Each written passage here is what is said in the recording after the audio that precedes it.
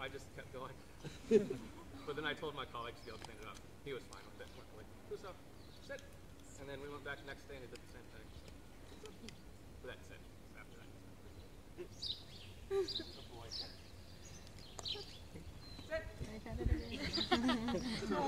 Active response he's not supposed to do. Sit. Good. Sit. Let's go. Over here.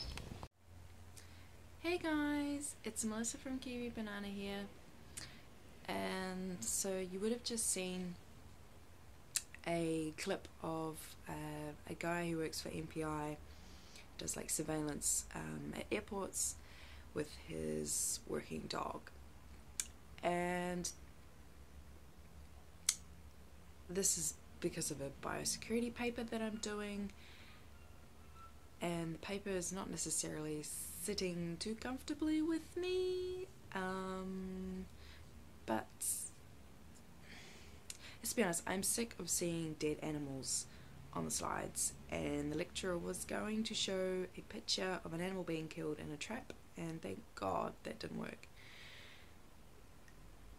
But with this this clip, um, I wanted to show it to you and just sort of get a discussion going because um, so basically, the dog's job is to sniff out food when it comes through the airport.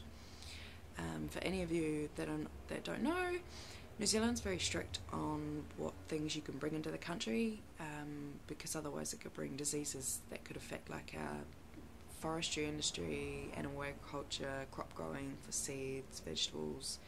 We grow lots of apples. So if that gets affected, then apparently our economy is just going to fall apart.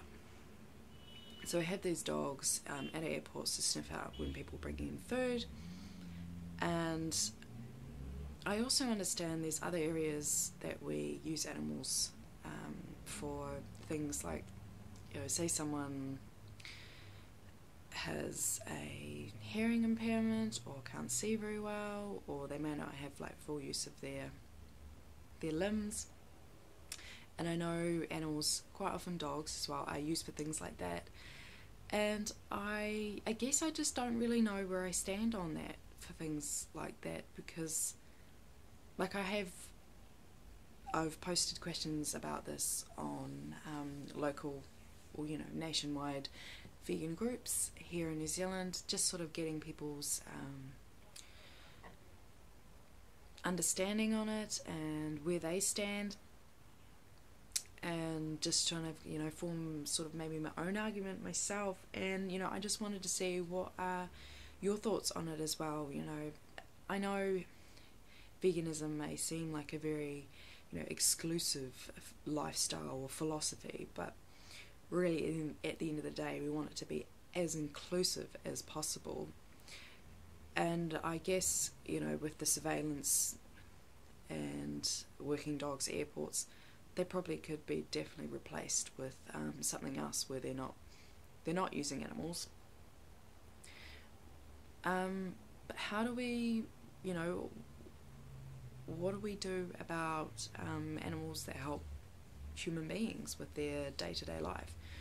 How do you stand on that topic? And um, let me know what your thoughts are. Um, leave them in the comments down below. And yeah, I hope you've done something that makes you happy today. See ya.